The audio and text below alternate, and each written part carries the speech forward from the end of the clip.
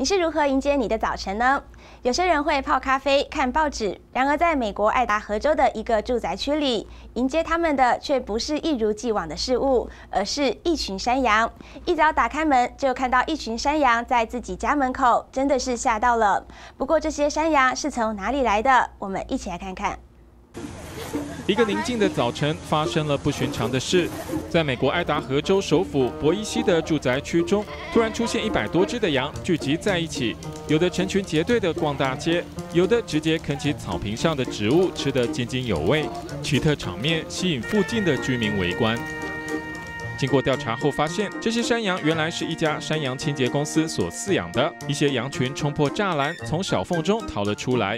在羊群效应的作用下，其他的羊也跟着一起行动。当地居民看到如此的景象，觉得很惊吓，也很新奇。该公司知道消息后，派出一台卡车要来载山羊们回去。这些大批的羊群虽然造成了许多的骚动，但是孩子们看到成群的羊，还是相当的兴奋，也协助公司让山羊上车。结束了这趟山羊的奇幻之旅。